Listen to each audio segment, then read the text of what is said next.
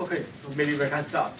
So welcome to our uh, the, the seminar of the system engineering today. So we have the Professor Mostafa from University of Utah.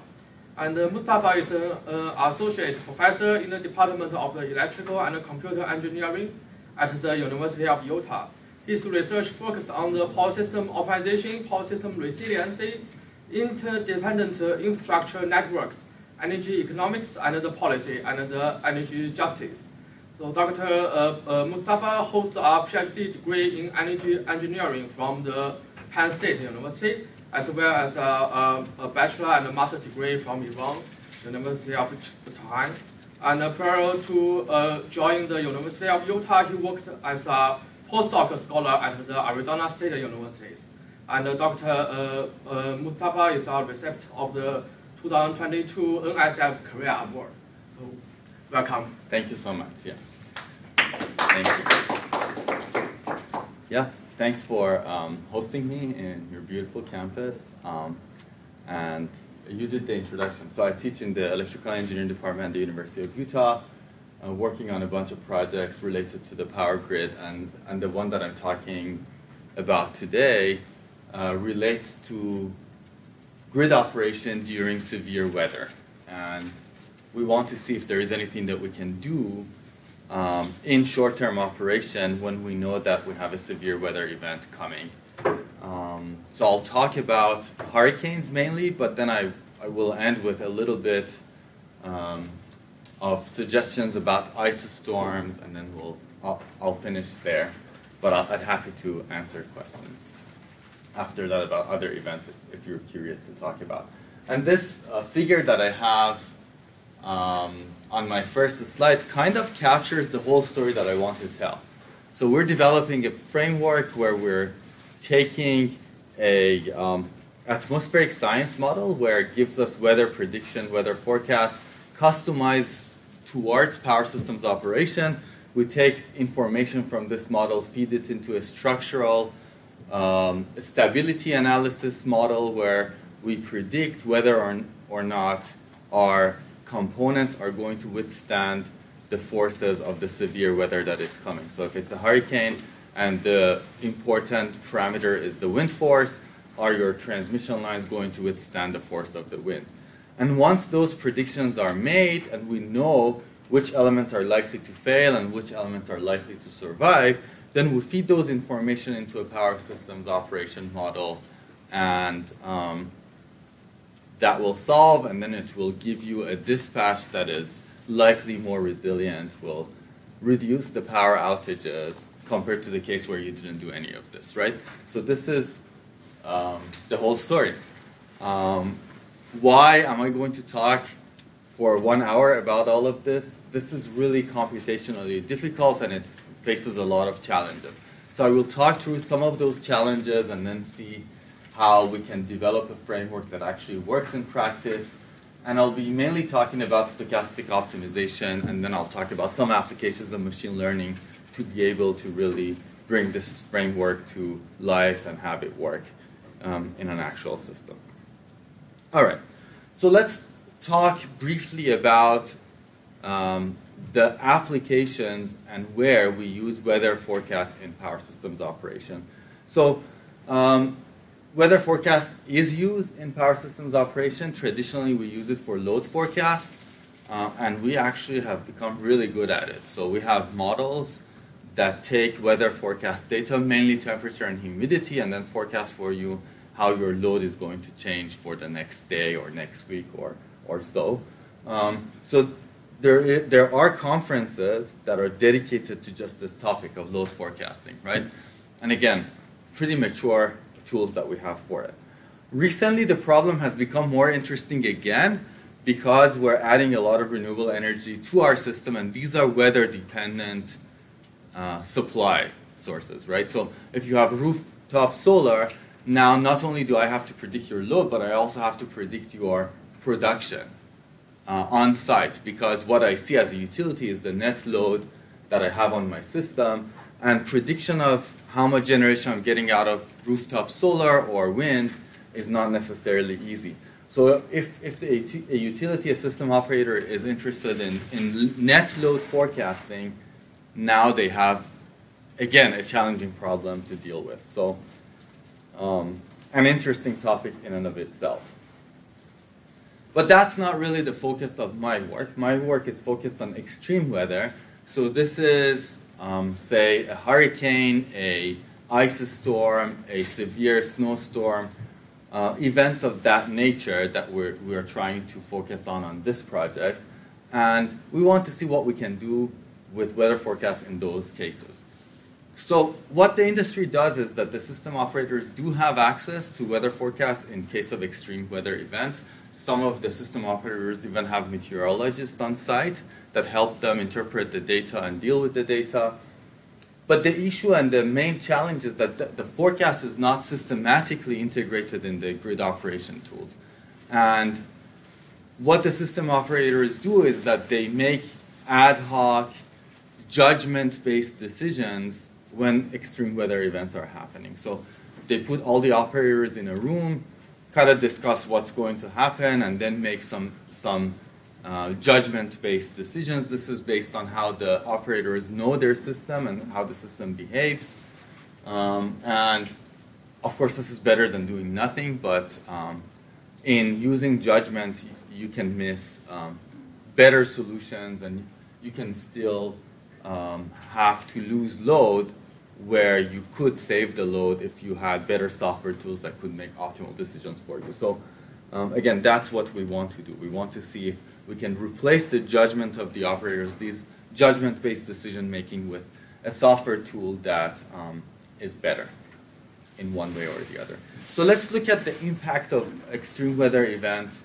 Um, so here I have an example of a hurricane, but most other extreme weather events are similar in terms of their impact. So you can partition your power systems in three different sectors generation, transmission, and distribution, right?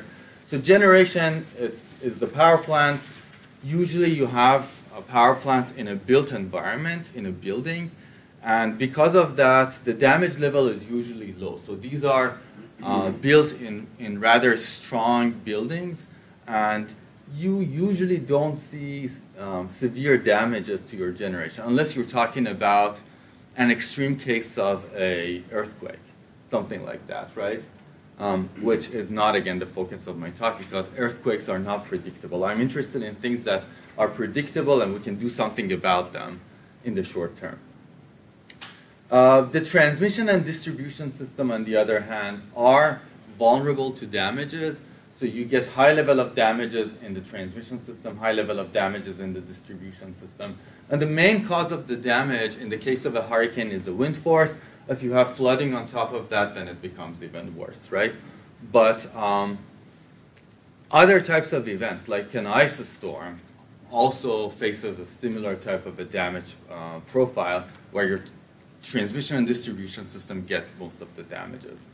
Um, so that's type of the impacts on, on the system from a physical perspective. There is another really important impact on the system, which is the impact on the load pattern. So you can imagine the day that you're having a hurricane in your system, the load pattern is not going to be similar to a normal day, like right? So like if you're used to go uh, home in the evening and turn on your TV and you know like start cooking and all of these things, it's likely that on a hurricane day, like your behavior is going to be a little different. So the load pattern will be different, right? Again, that is not what um, my model is going to consider. We're assuming that there are other tools where they can capture the impact of the change in the load that we are able to use. And we're mostly focusing on these type of physical damages that are happening in the system and try to resolve those or, or work around them um, rather than resolving them. There is really no way to resolve them. Okay. So now let's look at some data and uh, this is the data that we get from the hurricane season of 2017. It was a pretty strong hurricane season, and we had three major hurricanes. So we had Hurricane Harvey in August uh, with a landfall in Texas, and 300,000 customers in Texas lost their power. We had Irma in September, um, making a landfall in Florida, and then the major impacts were sensed in Florida and Georgia. 6 million customers uh, lost power in Florida, around 60% of the total um, customers, and then 1 million customers lost power in Georgia, around 20%. And then we had Maria in September, where 100% of the island of Puerto Rico um, lost power. Um, you, you can see the change in the net load in uh, two of these events. So, I mean, there is no point in showing the Maria case, right? Like, you go from some load to nothing because the whole island went out. But for Harvey and Irma, where you partially lost your system, you can see how uh, you had a load pattern, and then when the hurricane made the landfall, it goes to a different trajectory because um, some percentage of the system loses power, and then gradually over the course of a, about a week for the case of Hurricane Harvey, uh, the system was recovered fully, so you go back to your original pattern. Uh, for Irma, it took a little bit longer because it was a, a more strong uh, system, a more strong event. So the research question is, is there anything we can do in short term? So short term meaning that we don't have the option of hardening the system. The system is already there. You can't really improve it in uh, a week before the hurricane is coming. Is there anything we can do in short-term operation with, with the decisions we make in operation to reduce the number of power outages that we have to improve that system? And like many other engineering questions like this, the answer is yes, but it depends on what it is that you're after, what it depends on the trade-offs, and it depends on the event, right? So for example, in the case of Hurricane Maria, where you have like such a strong hurricane knocking down the entire system, well, maybe you can't really do anything, right? But for smaller events like Harvey, like Irma, there is likely some um, gains that we can make through enhanced operation of the system, and we are really after improving these numbers, the outage numbers. And in doing so, we focus on the transmission system and not the distribution system, and I tell you why. So in, in the distribution type of damages that you get, you have a radial network, meaning that it's like a tree if you want to think of it in terms of graphs. And as soon as you lose a branch of your tree, then downstream of that failure, you're going to lose power. There isn't really much that you can do. You can rearrange the system. Um, there is a little bit of possibility over there, but usually when a hurricane passes through an area, knocks down all the distribution lines, and you get so much damages that there isn't really anything that you can do about it. Uh, the transmission system on the other side is a mesh network, so even if you lose a transmission line, you still have paths to transfer power from point A to point B. So you do have that mesh structure that helps you. Also, looking at the event of Hurricane um, Irma in this case, uh, look when you have start having power outages. You, as soon as you have landfall, you have power outages in the north parts of the state of Florida, right? And that cannot be a, a distribution damage, right? the hurricane is far away from the northern parts of state of Florida.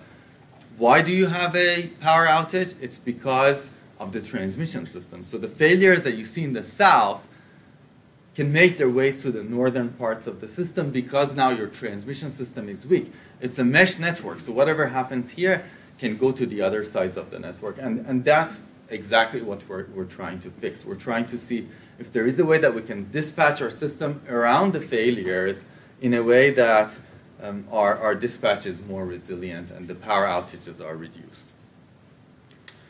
And we also should note that the damages to the transmission system are significant during um, these type of events. So in the case of Hurricane Harvey, we had 97 lines that failed uh, that had a voltage rating of over 139 kilovolts. So these are definitely considered transmission level lines, not distribution. And for Hurricane Sandy, we had 218 high voltage transmission lines that were uh, down. So significant level of damages. Uh, it can cascade to other parts of the network, and there is an opportunity because of the meshed structure of the network that you can um, improve things.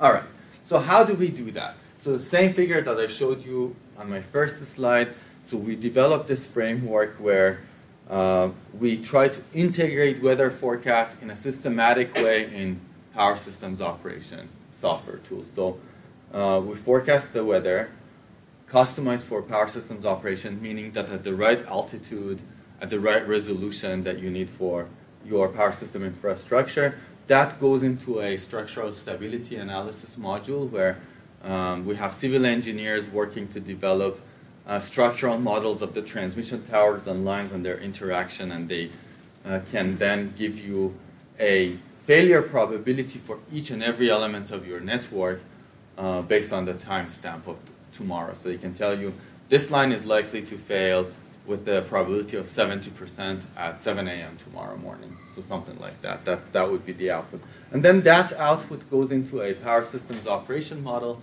where I develop, my team and I developed a stochastic unit commitment model where those probabilities are, are then integrated into an operational model to now find a dispatch that will reduce the loading of the lines that are likely to fail. So if they do fail, then we don't have as big of a problem because the loading of the lines were already low, right?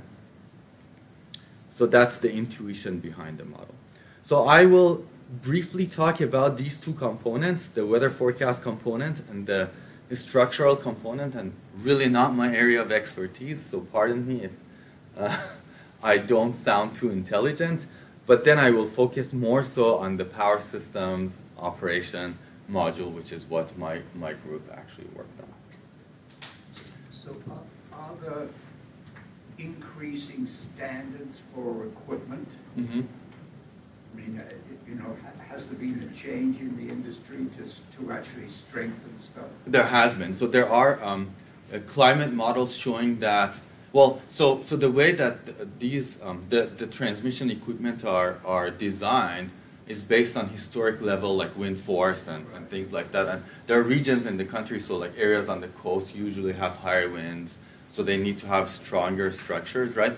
So there are climate models that show that uh, what we have used in terms of historical data is not going to be valid for the future. So standards are improving, definitely. But yeah. I mean, what you're implying is, is that Florida violates no standards, basically. So, so, right. So standards don't guarantee that you're never going to have a failure. So there are like, oh, you shouldn't have like 10 events like this every year, but like is it okay to have like one event like this every 10 years? You know, standards are developed based on those, those assumptions. Um, also, like our infrastructure is pretty old, so even if you update the, the standard, then um, they don't necessarily imply that you have to go and replace all of the transmission lines that you had in the past. It applies usually to new developments. So mm-hmm. you still get things like this all the time.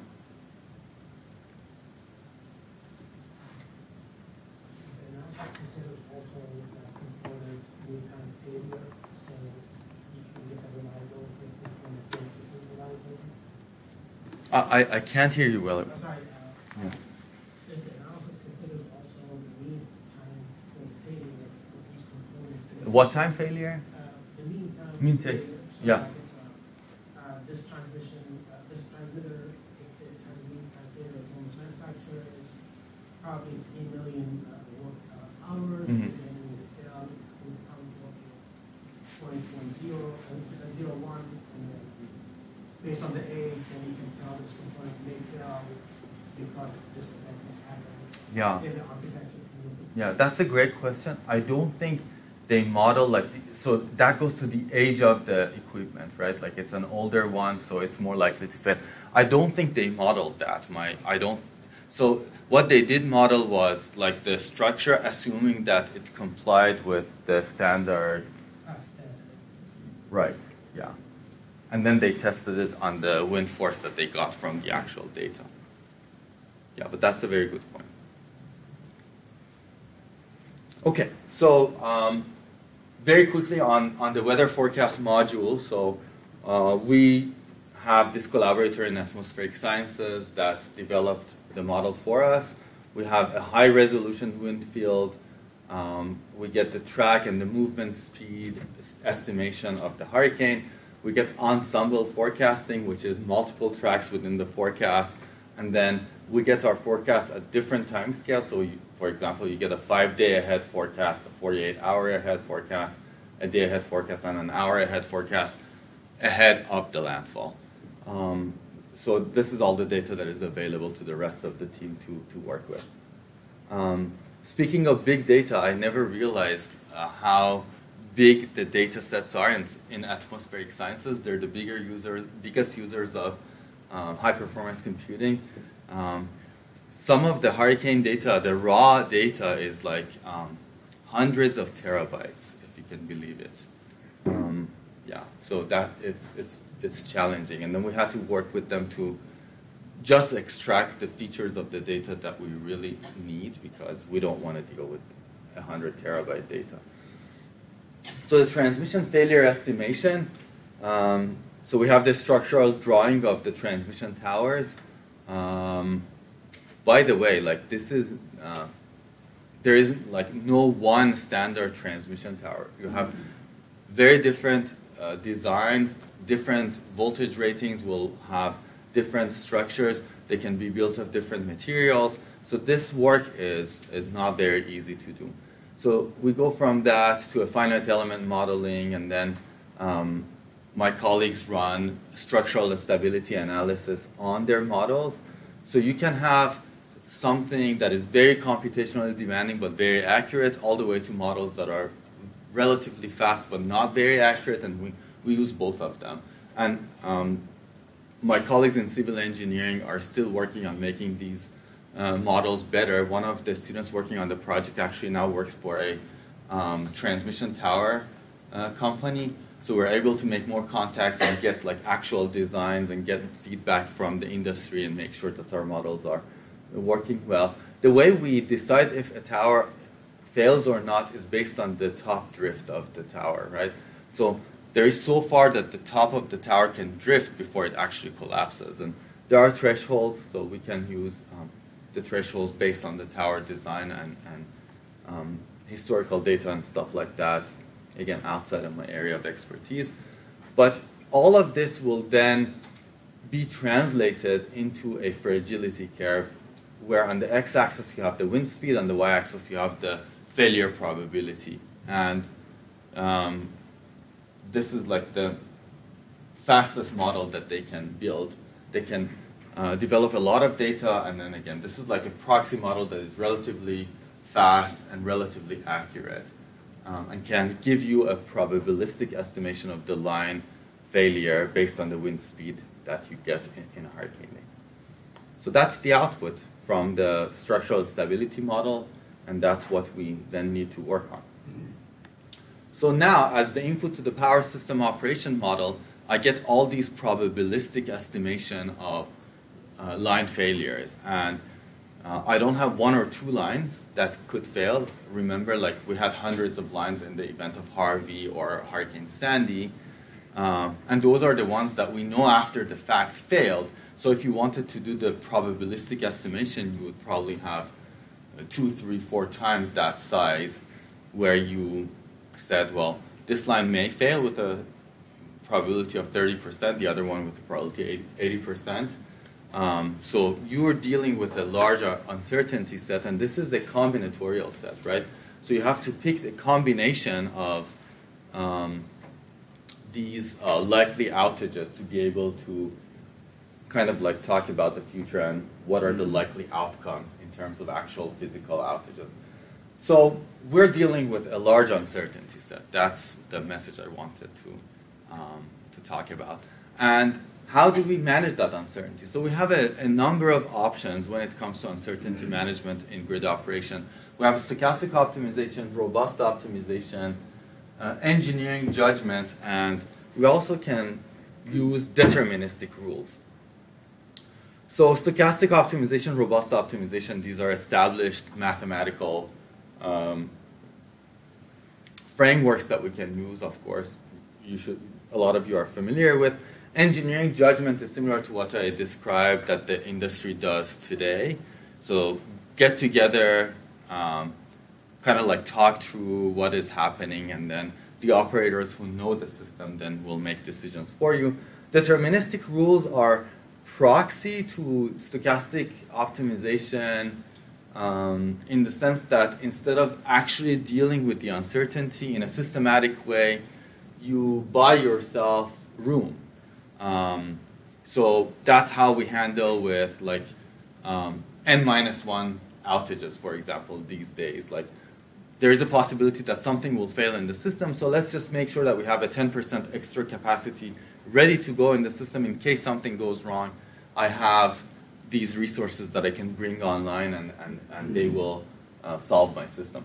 So similar to that, in terms of, a, in, in the case of a hurricane, you can say, well, instead of 10% reserve margin, I want to have like 40% reserve margin. So that will help you manage your event a little better. Or you can have other deterministic rules as well. So that's another way of um, addressing this problem. We went with the stochastic optimization because it seems like um, it's the more flexible framework to help us find a solution. Robust optimization kind of tries to uh, optimize the worst case scenario, and that's not necessarily what we want to do here.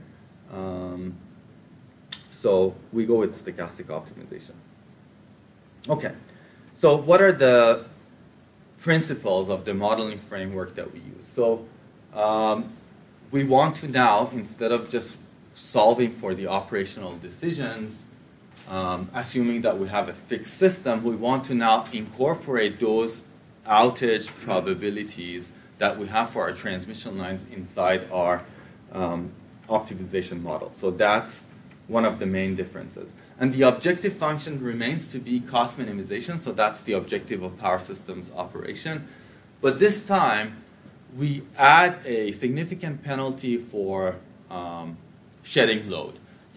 There is usually not an option. You still have to shed the load because hurricanes are strong events. You are going to have to lose some of the load in the system, but that is penalized heavily. And that penalty, what it does is that it kind of like pushes your solver from minimizing cost to trying to save as much of the load as possible. So that, that becomes the main direction of the optimization problem. Hopefully what we're hoping is that the solution will have a reduced power outage compared to business as usual operation because we were able to explicitly model these failure probabilities. But there are a number of challenges in actually doing that. Um, and I'll talk about three of them here, and actually the third one is the main one. So the first one is that multiple line outage modeling is difficult, right? Um, we can do pretty well if we only are losing one of our elements in the system. There are sensitivities that we have developed specifically for that. But once you have more than one transmission lines going out of the system, uh, it becomes difficult in terms of um, modeling adjustments that you have to do. The second challenge is uncertainty management. So again, we're dealing with a combinatorial set of uncertainty. It's really large, so how do you actually model that? Um, and all of this comes down to computational tractability. So uh, for your day-ahead operation, for example, you have four, five, six hours of computational time to solve the problem and find the, the decisions. If it takes longer than that, then you're already getting to the operation. So you need to have the, the solution, right? And if you don't have the solution, if you have the best, the optimal solution, but it takes like two years to, to find it, then it's useless, right? So computational tractability is forefront of um, the objectives. We want to make sure that we are able to solve the problem fast enough, even if we're losing some quality. Okay, so first challenge, multiple outage handling. So um, those of you who have worked on power system operation models know that there are different ways of calculating power flow on transmission lines. You can have a nonlinear AC model of power flow, of course, very computationally demanding, so nobody really uses that in optimization models. We have the B theta model um, of the flow. That is also computationally demanding, although it's linear. Uh, but what the industry actually uses is a shift factor. And shift factors are sensitivities um, that say if I increase the production of power in this power plant by one megawatt, uh, how does the flow on all of my transmission lines change? So once you have those sensitivities, then it becomes really easy for you to calculate the flow on all of your lines. And also, you don't have to model all the lines. You can only model those lines that you care about or you think will be um, loaded near their limit. The issue is that these shift factors, these sensit sensitivities, change if the topology of the system changes. And the topology does change when you have a hurricane because some of your lines are going to fail and go out of the system. So how do you handle that? Uh, for single line outages, we have um, this conventional model called line outage distribution factor. And um, that gives you the flow on the rest of the network once you have an outage of one line. That framework, again, is not valid if you have multiple line outages. But there is another method um, developed by Pablo Ruiz and his colleagues. It's called flow canceling transactions. And it kind of gives you a framework to, to model flow on a network where you have multiple line outages. It's computationally more demanding than line outage distribution factors and shift factors purely, but the computation is not too bad. So that's what we use to model our multiple line outages. And I don't want to get into too much details about this, but yeah, go ahead. So earlier you mentioned that uh, the consumer's behavior during those extreme weather storms actually changes. So is the shift factor considered that or goes to the normal operation? Yeah, great question. So we assume that whatever we have in terms of our load forecast captures the consumer behavior. So we just take a load forecasting model um, and solve it for that. We don't really deal with that issue. Yeah. But that does impact the flows, you're right. So if you want to read more about this framework of handling multiple line outages, there's a paper we published in 2020 in IEEE Access. It's going to be on, the, on my last slide as well, but that goes in, in details of how we dealt with um, multiple line outages. Okay. Um, the second issue, and the really problematic issue, is uncertainty management and scenario selection. Again, we're dealing with a combinatorial uncertainty set. Um, so you have a bunch of lines that may or may not fail. You only have the probabilistic estimation of the failures. Um, so just to show you how big this set can get, if you want to explicitly model all the combination of possibilities, let's say we only have 36 lines that are affected in the hurricane area for a 24-hour period, um, with and and again, like 36 is not a large number. Like in the case of Hurricane Harvey, actually 116 lines failed, so much much bigger than that. But even in this smaller example, the number of possible outcomes is larger than the number of atoms in Earth. Um, clearly, no computer will be able to handle such a large uncertainty. So we have to sample this space. There is no way for us to um, be able to model all of the possibilities. And the way we do that is we develop this scenario selection model, and it's we put every single element that is likely to fail on a two-dimensional scale. The x-axis is the failure possibility feature. So each line will have a failure possibility that changes over the time, but has a peak, right? At some hour in the day, the hurricane has the strongest wind force affecting that transmission line, producing the largest possibility of outage. We take that maximum, and that will be our failure possibility. There is also a, a um, dimension of importance. So not all the transmission lines are equally important in the system. There are lines that are more important, there are lines that are less important. We also measure the importance of the line through some static metrics, which is PTDF and LODF. We essentially are trying to see um, how important that line is. And, and because our measurement is, is static um, and not dynamic, this isn't necessarily the best way of measuring the importance of the element, but it, it does the job. So we now have been able to put all the elements that are likely to fail on this two-dimensional space. Now you can identify a threshold in the failure possibility and a threshold in the importance And that will be one scenario. So the way that scenario works is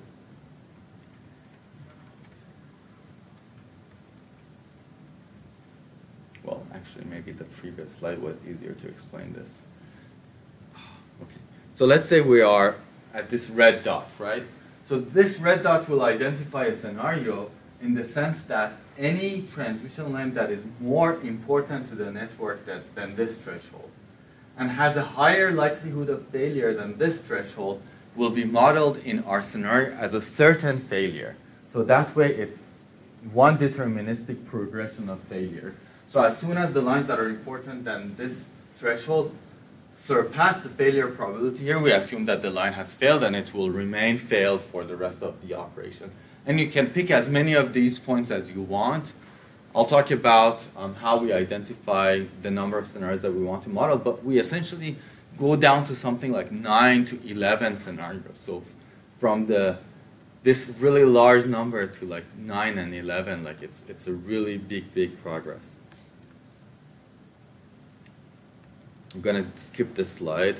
Um, or maybe we can talk about two things. Okay, so um, two important points on this scenario selection method. One is here. So if, if you just model this scenario, let's see, let's see what this means.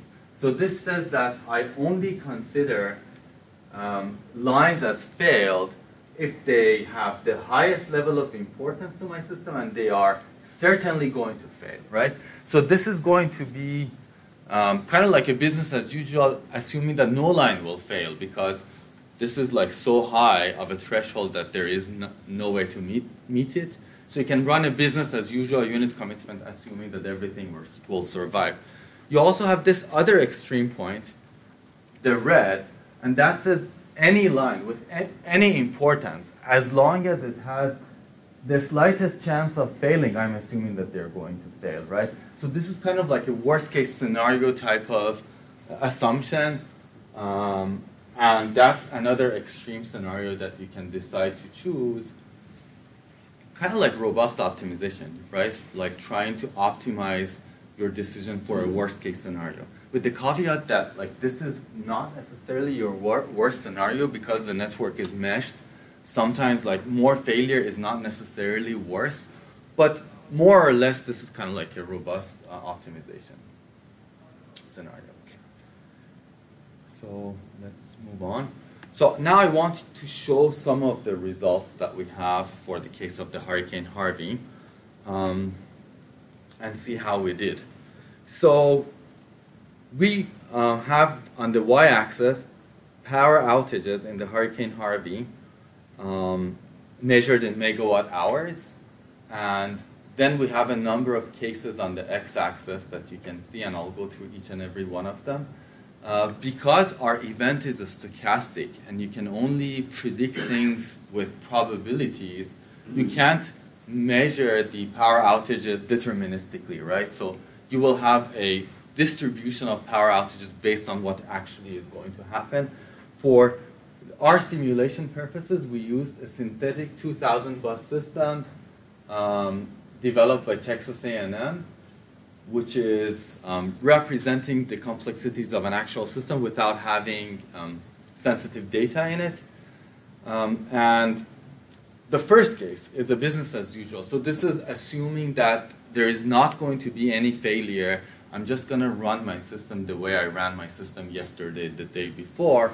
And of course, this will give you a bad outcome, right? Because you are going to have a lot of failures in the system. So blue is the minimum expected power outage over 20,000 megawatt hours. Red is the maximum over 100,000 megawatt hours. And the average that we got is um, just above 60,000 megawatt um, hours of failure in, in the Texas system. And we, we, we get these distributions based on a large number of um, Monte Carlo simulations on the possible um, outages.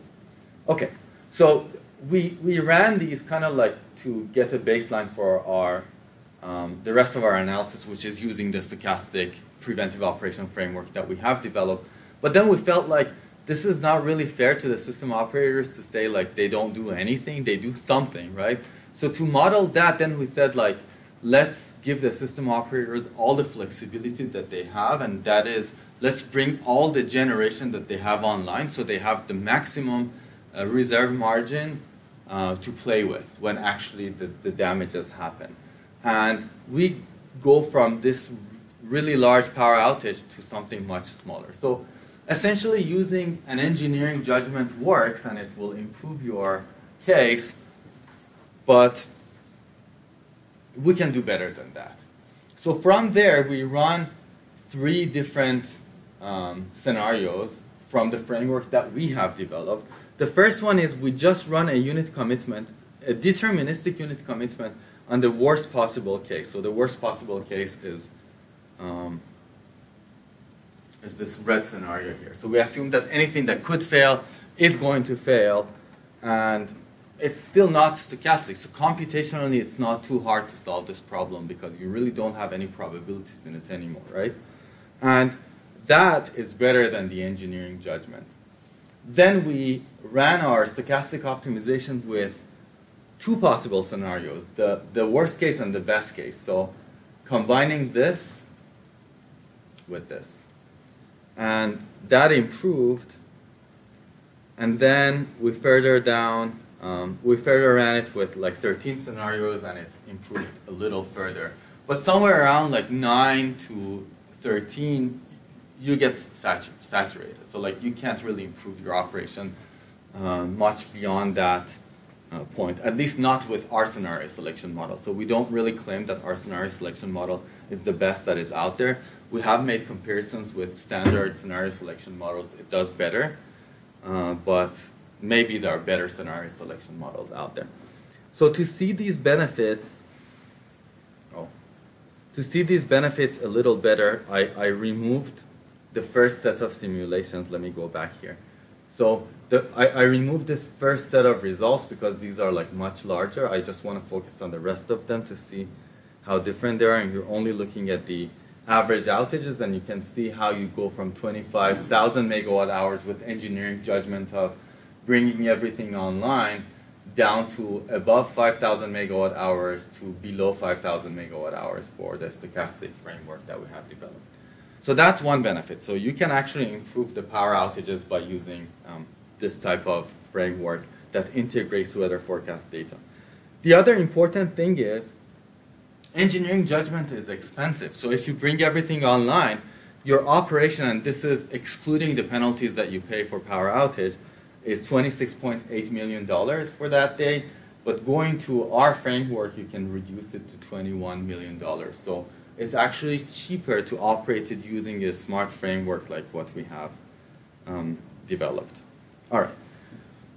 So next, I want to quickly talk about how we can use machine learning um, to improve the framework. So the main challenge that we have is the computational burden of this stochastic framework because it takes a long time.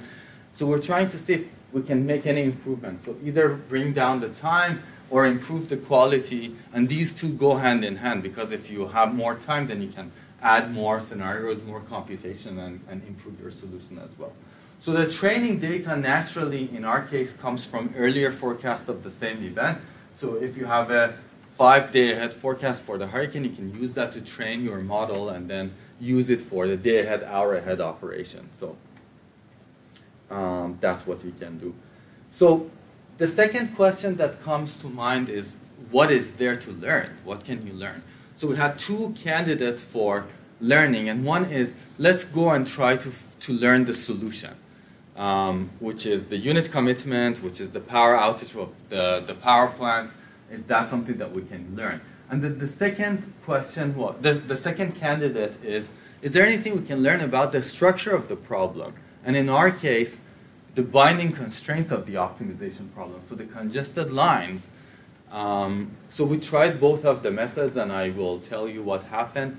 But essentially, our analysis showed that you can learn the solution, but you're going to make some mistake. There will be some error in the output of the, the learning algorithm compared to the actual uh, solution of the optimization problem that you're running. And even they may be close, um, the solver is very sensitive to mistakes in, in learning the solution. So if you let, make some mistakes in the solution, you may end up actually spending more time trying to get to your solution than just running a cold start.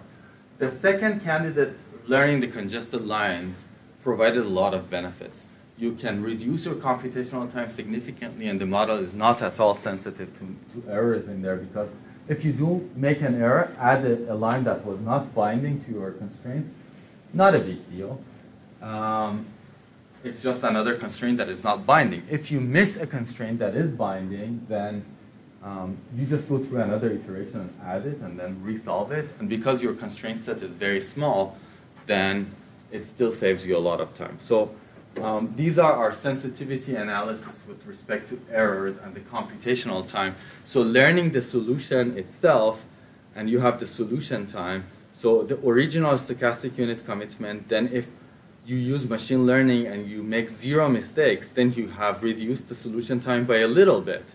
But as soon as you start adding some errors to your learning algorithm, the solution time goes up and it actually is larger than the original solution time very quickly. So this is not a great thing to do. But learning the congested lines, if you can predict them with 0% error, you can reduce it very, very significantly. But if you, you make mistakes, and you make large mistakes, like 10, 25%, still you get a lot of time savings. Um, and you can tolerate mistakes. So that's, that's a great thing about it. So these are the results that we ran on a South Carolina 500 bus system.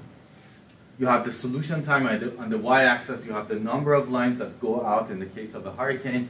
The, the number of lines are not large because this is a relatively small system, 500 buses. And uh, we have the original stochastic unit commitment computational time on the top um, with its uncertainty band. And then we use machine learning to do what I just told you, and then we see the computational time on the bottom. And you see like something around 90% computational time reduction just by using uh, this, this what we call machine learning assisted stochastic unit commitment. So yeah, not too bad. Now I want to like switch gears and quickly talk about ice storms because, and I want to tell you that it's the same framework. So um, you don't have to only um, consider hurricanes. This framework can handle other type of weather events that can be predicted. Ice storms are another example of these events. So what happens during an ice storm, and this is a photo from the Quebec ice storm in uh, 1998.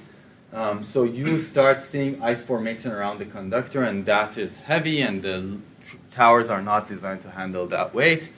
And if it's too heavy and you have a wind, then there are chances that you end up in a situation like this and the tower is down and you, you lose it.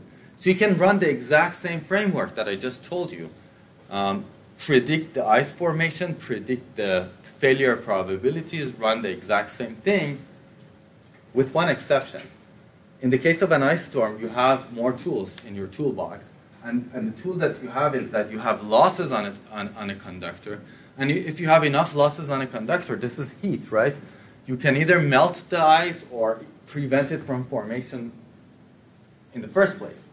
And that is even better, right? Like in a hurricane, you can't really do anything about the wind force, but here you can prevent the ice formation. So that's what we try to do. So you can essentially put a lower limit on the flow of the line, saying that I want the flow of this line to be above this threshold so that I generate enough heat so that I know that the temperature of my conductor is above zero degrees Celsius. So we ran this on a um, IEEE RTS 73 bus system that you can see here. What we did was that we created 24 cases, each case with 12 lines in the storm region. So there is a possibility of 12 lines, not a possibility, 12 lines have a temperature below zero degrees. So if you don't do anything, uh, you're going to have 12 lines that will have ice and you could possibly lose them. And these are all the lines that are in, in, in, in those cases. And then we ran, ran our simulation. So we have a traditional unit commitment, which again assumes that we are not integrating any of this information in our daily operation. We just operate the system uh, business as usual. And then we have an anti-icing unit commitment where we do incorporate these um, estimation predictions in our modeling framework, and we try to maintain the temperature, the surface temperature of the conductors above zero degrees Celsius to make sure that there is no ice forming. So what you're looking here is a histogram.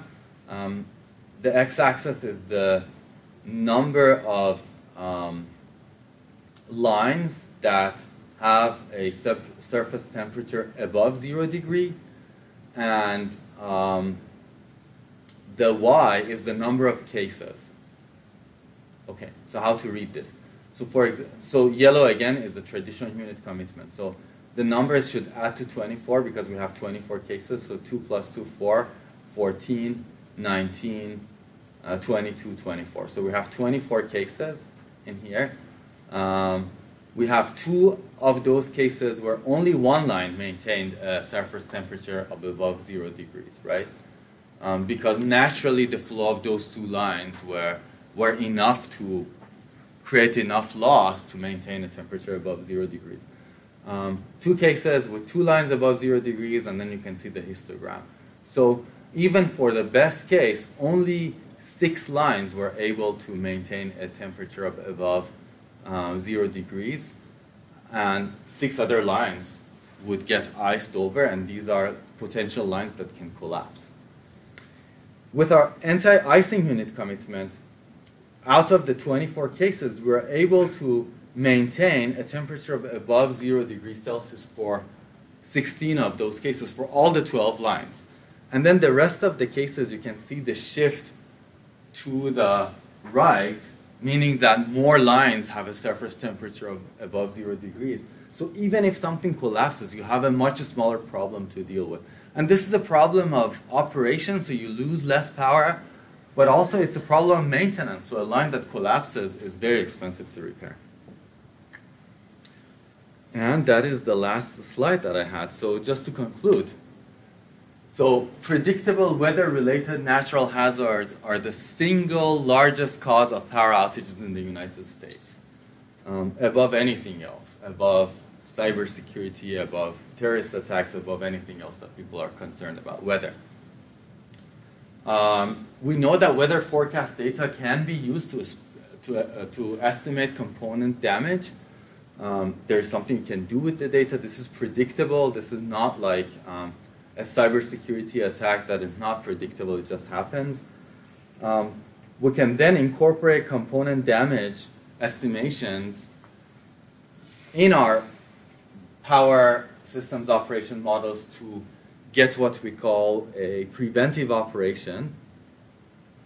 An appropriate integration of this data and a preventive operation will help us reduce power outages and improve system resiliency and reliability in face of weather-related events.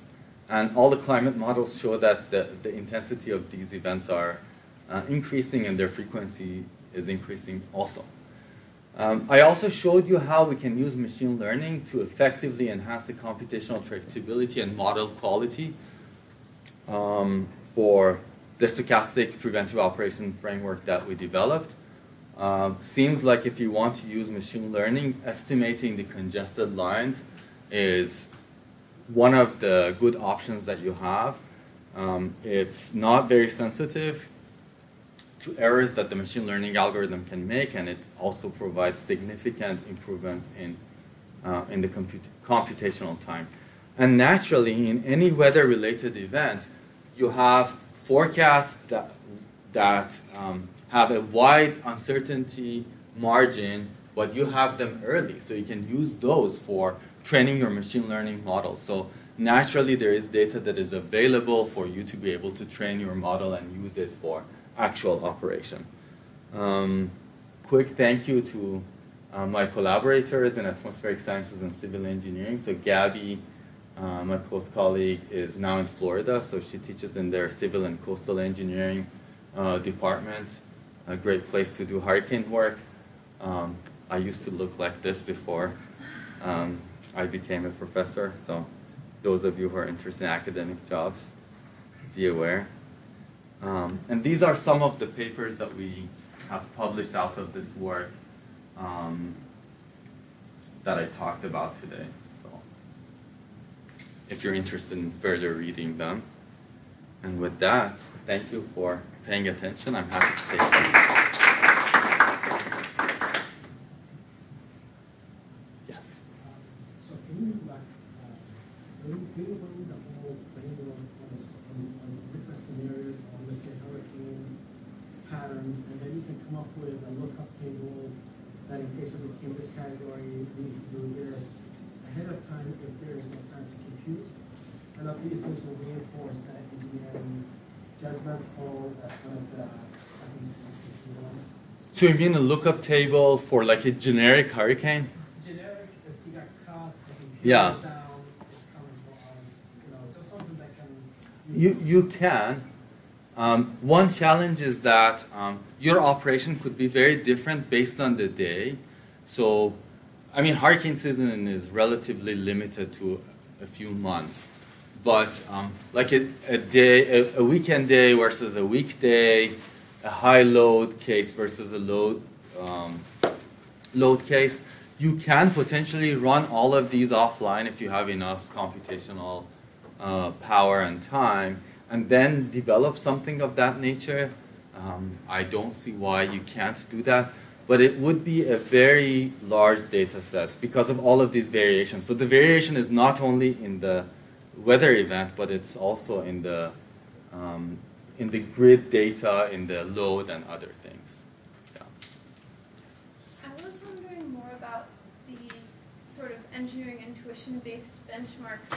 Uh, did you try any benchmarks besides just everything committed that might be more realistic, like committing the ones that have a high ranking of importance on like that y-axis, or committing something that represents what the operators actually did in the past hurricane? Yeah. Um, again, great question, and we didn't. Um, so we thought bringing everything online gives the operator the best kind of like scenario in terms of the flexibility that they have to manage the, the event, right? Um, it also matches what we could gather from historical data. So there isn't a lot of data on what actually the, the operators did because in these type of events, they don't do a great job of logging um, the way they make decisions and and even like in terms of damages and repairs and stuff like that, data is, is, is pretty bad. Um, yeah, that's why we did. So, so in, in, in one example, in Hurricane uh, Sandy, that's what I was trying to say. Um, at least in parts close to New York City, that was actually what the operators did. So they brought everything online. Is it a great assumption for the state of Texas that everything is online? Probably not.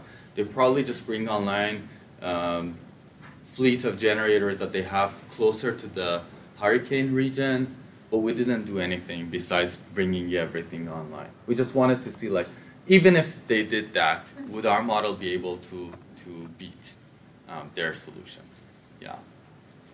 Yes. I'm wondering how do you measure the effectiveness of the scenario you Mhm. Because in the diagram, it seems like um, um, the, your selected certain scenarios and the worst case scenario have reduced the cost and uh, very low uh, power outage compared with the benchmark. Yeah. How the effectiveness?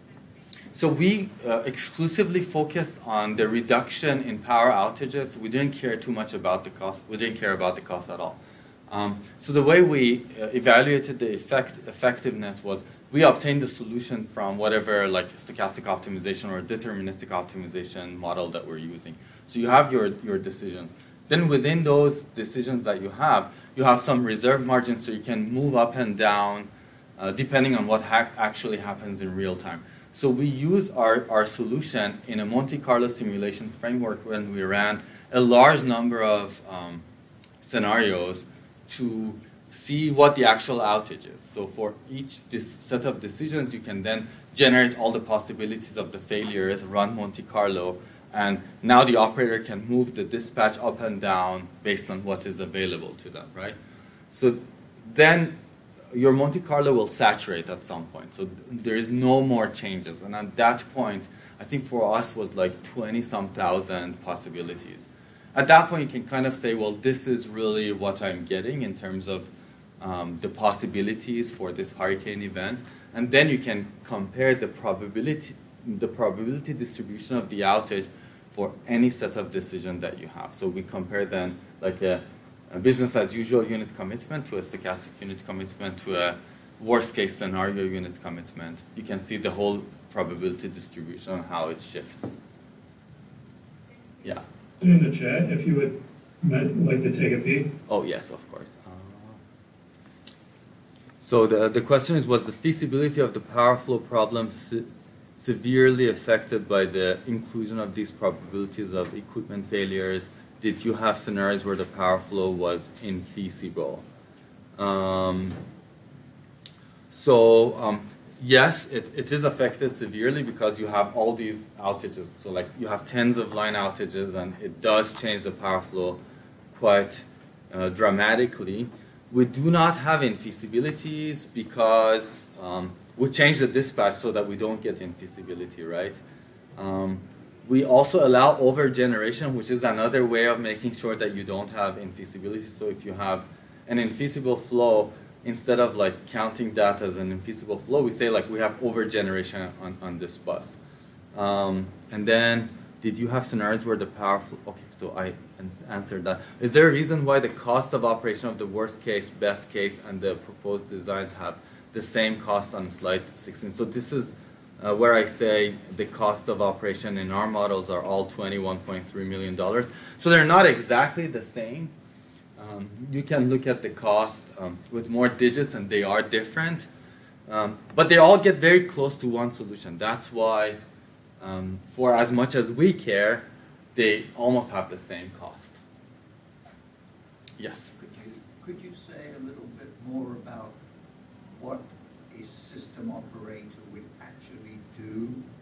So, you know, we have a hurricane going to hit three o'clock this afternoon. I sort of anticipate bad things happening. Uh, Do I shed load? You know, can you? Yeah. So what our project suggests is that if they go about systematically integrating that forecast into their operation, so they will have to shed load anyway, right? But they can be smart about it, and hopefully that means that they have to shed less load than they would otherwise. I mean, you're, you're essentially downgrading vulnerable pieces of your network. Exactly. sort of. Yes. And you're doing that in advance. Yes, and and you go around your vulnerabilities. Like you may uh, put a lot of power on this transmission line usually, but now that you know this line is vulnerable, you bring more expensive generation in other parts of your network, so to reduce the loading of this line. So even when if it fails, you're not going to have as much of a problem as you would have otherwise. And, and have any system operators embraced this? Um, ISO New England is working on it. Um, Because the, the icing one seems to make more sense, because even though you use, can, can reduce the amount of load loss, let's say, the damage is probably going to be the same. Yes, yes, exactly. Yeah. And ice storms, you're right. Like that makes more sense because it saves more in their repair costs. Yeah. Other questions? Thank you. Okay, so if we don't have any further questions, so I thank Professor Mostafa for the presentations. Thank you And so for much. joining us. This is my email. If you're interested in any of the papers, questions, discussions, I would love to chat.